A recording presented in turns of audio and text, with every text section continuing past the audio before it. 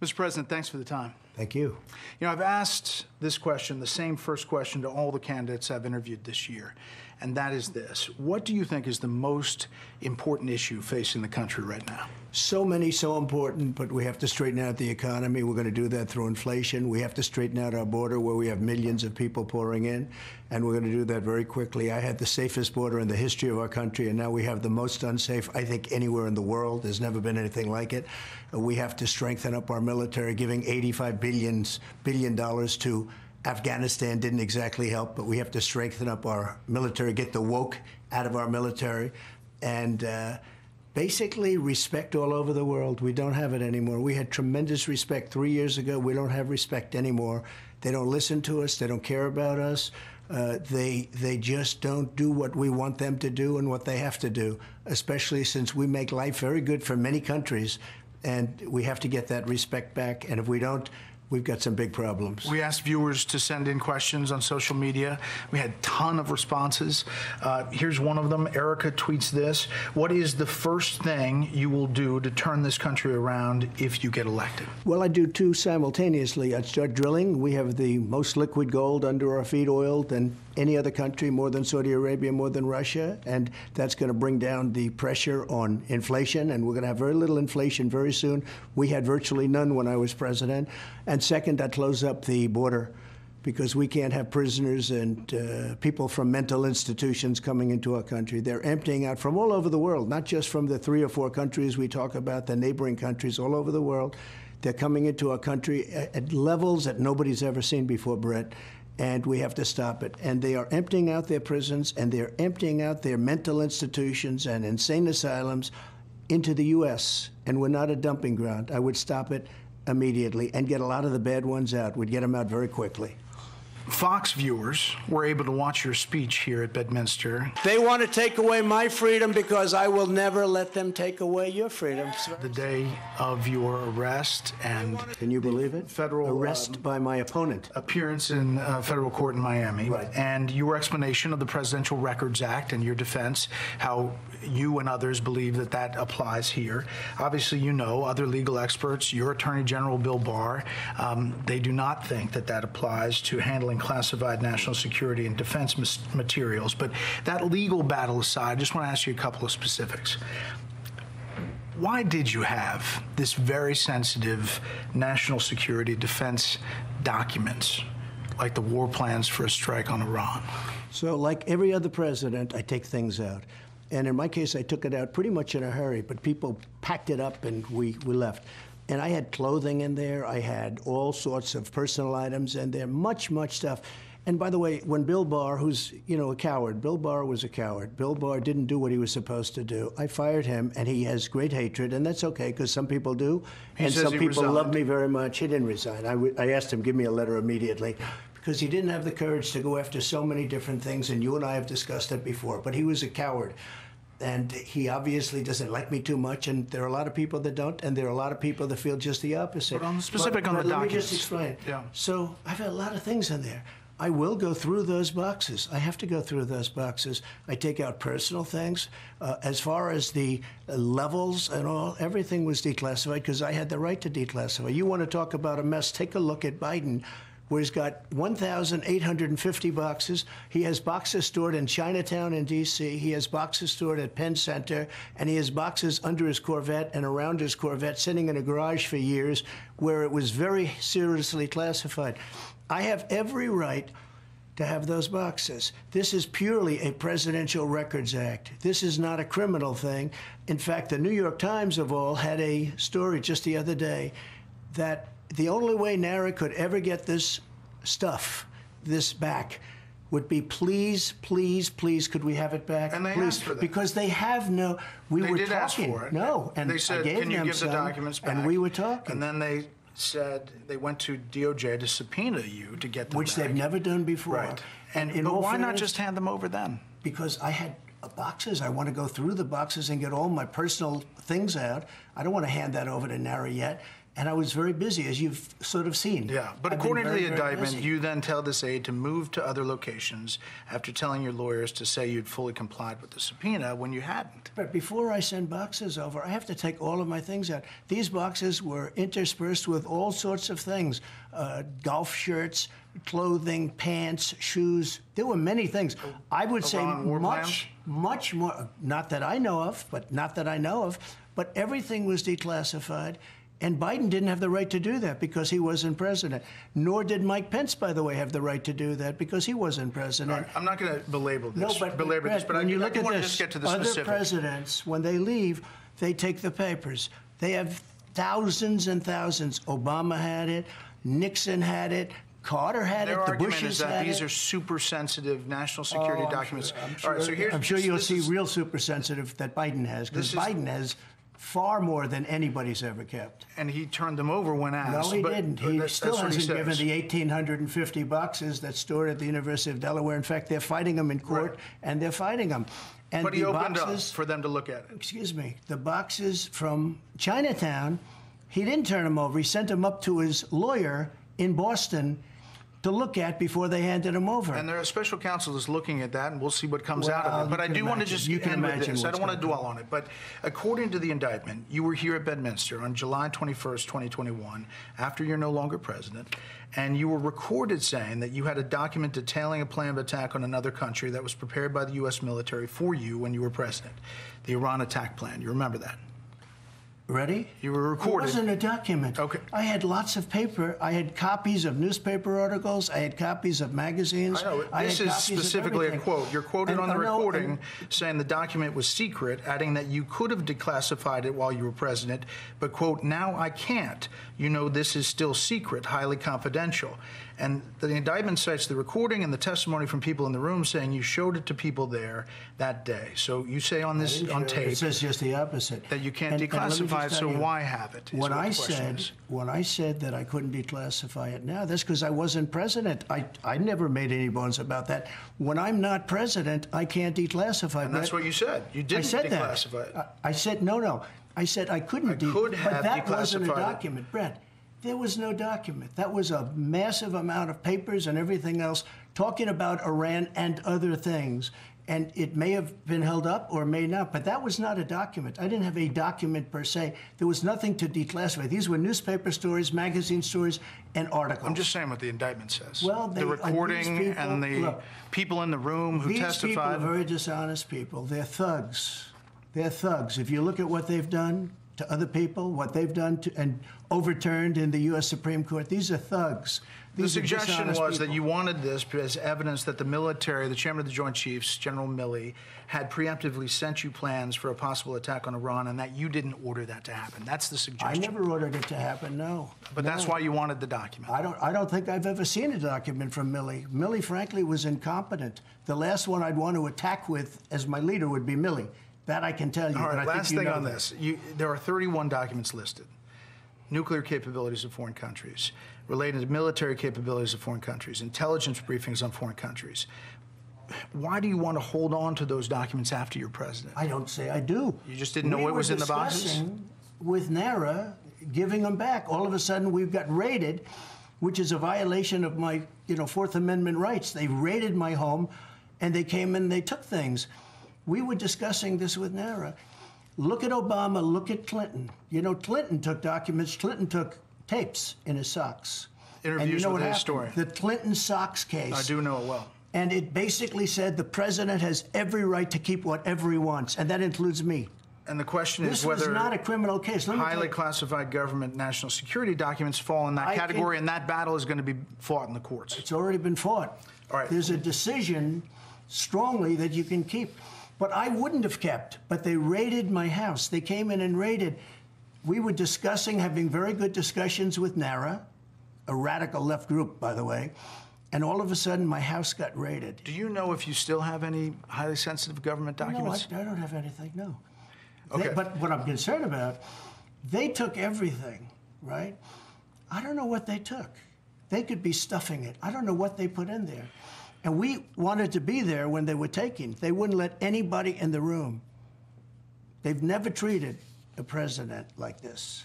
and that's fair for you to point out. I guess what this points to is this recording where you said you could have declassified it when you were president. You didn't. No, no, so I it's could still have classified. when I was president, but there's no document there.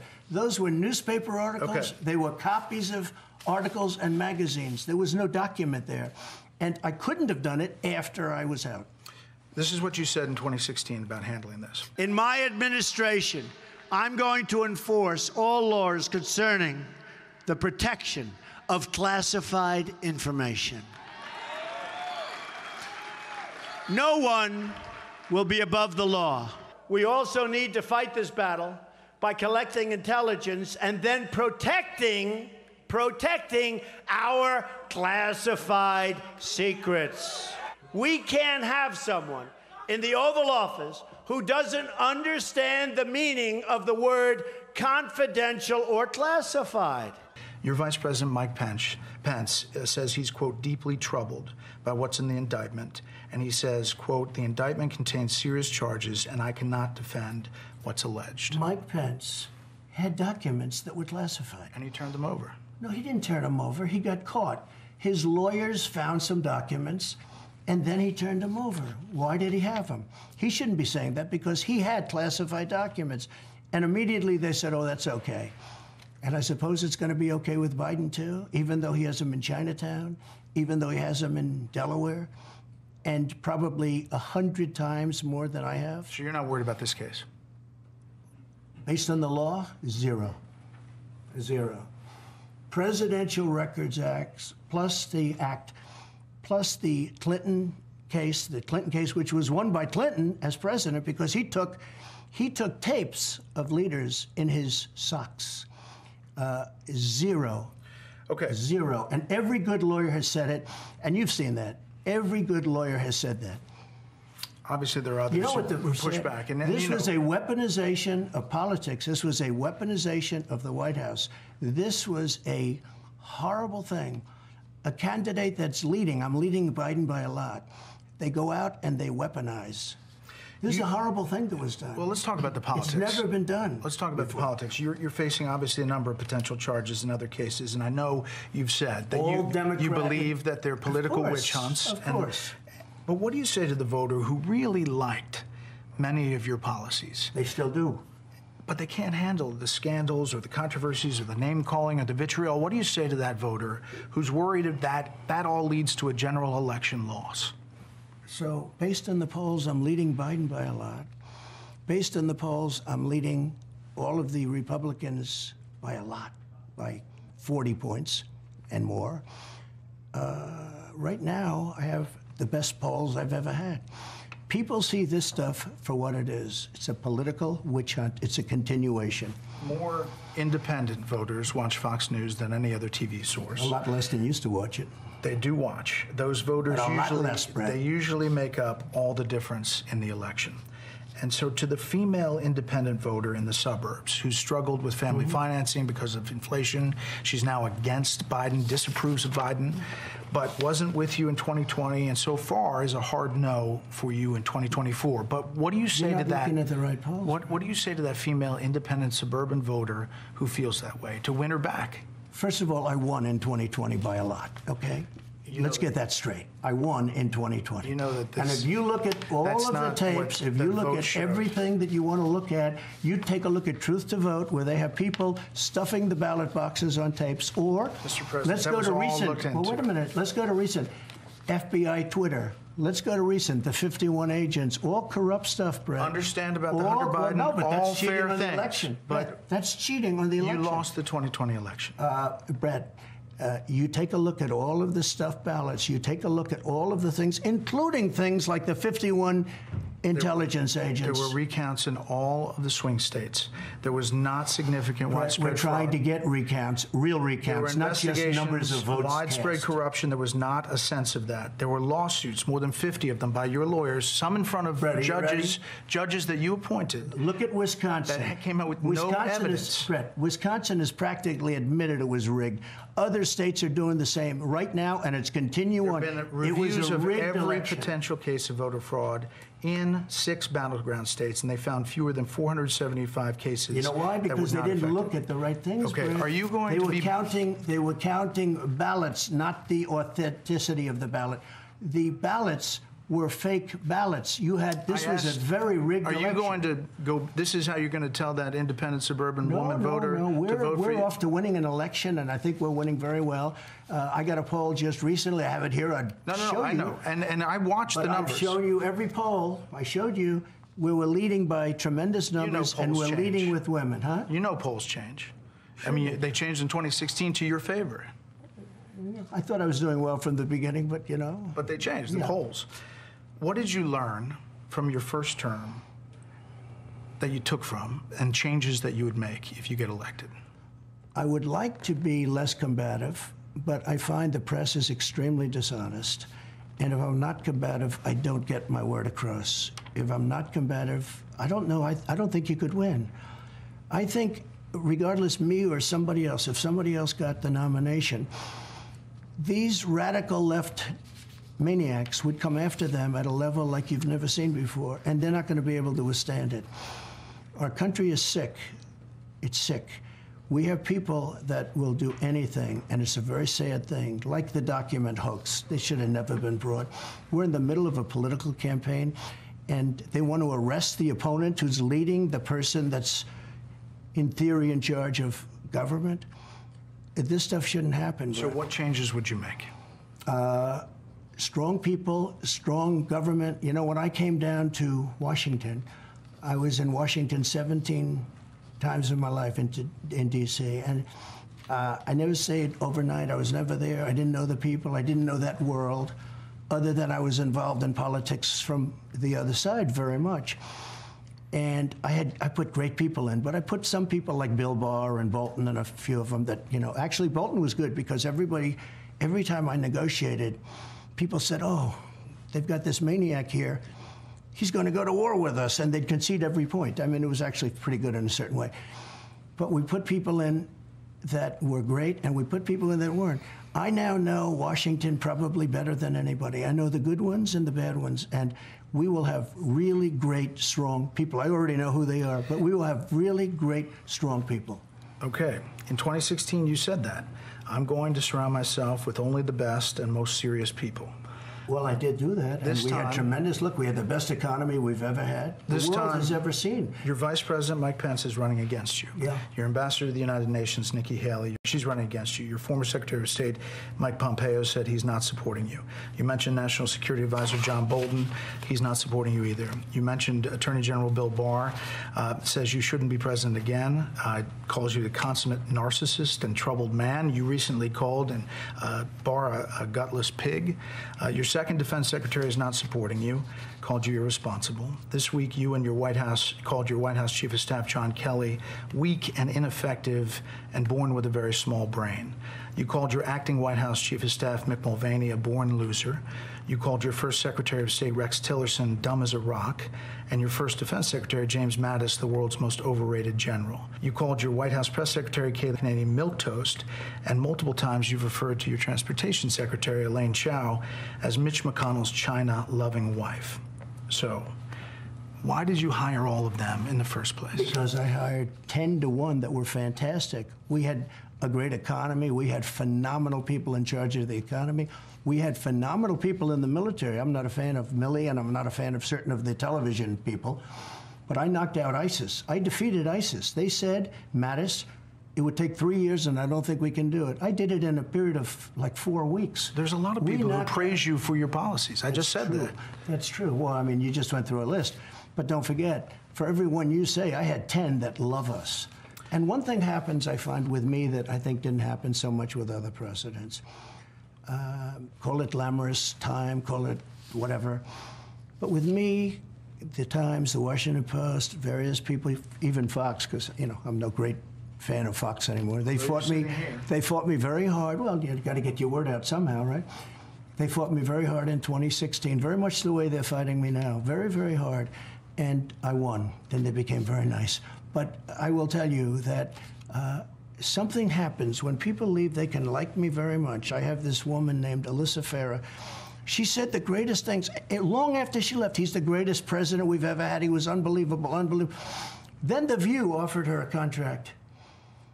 But obviously, only if she changed her views. And all of a sudden, she can say negative things. Money gets offered to people, and some people change. But, There's I lot of will people say on that list that are not taking money that decided that they're well, not for the most part, they are. You know, Barr did a book. Barr was a coward. The name people that you name, for every person you name, I can name 20 people that loved the administration. And maybe more importantly, the voters love the administration. The voters are dying to get back to it, Brett. The voters are tired of being laughed at all over the world. We're run by a fool. We're run by a man that doesn't have a clue. I want to talk about foreign policy, but just to leave this, you have former senior advisor Steve Cortes saying it's going to be tough for you to get the best and the brightest because of some of the name calling of people who left. so, Again, what do you Steve say to that? Cortes is a nice person, but I didn't give him the job he wanted because I didn't think he was qualified. Then he went over to the as camp. I didn't give him the job. So I'd probably say the same kind of thing if I wouldn't get a job, if somebody wants a job. And a lot of the people that you mentioned there, they didn't get the job. A couple of them weren't made permanent. I didn't want to make them permanent because I didn't think they were good enough. Now, during the course of that four years, I know the best people. Remember this. We took out ISIS. We developed Space Force. I rebuilt the military. I got the largest tax cuts in history. I got the largest regulation cuts in history. I did right to try so that people don't have to die without a chance. We could use space age medical knowledge, and we have the greatest labs in the world. I did all of these things and much, much more. Nobody's ever seen it like that. One other thing Russia would have never invaded Ukraine. China would never be talking about even the concept of going into Taiwan. Would have never happened. I was getting out of Afghanistan. We would have gotten out through dignity and strength. Instead, it was the most embarrassing moment in the history of our country. These are all great things, and people want them back. Mr. President, stand by if you would.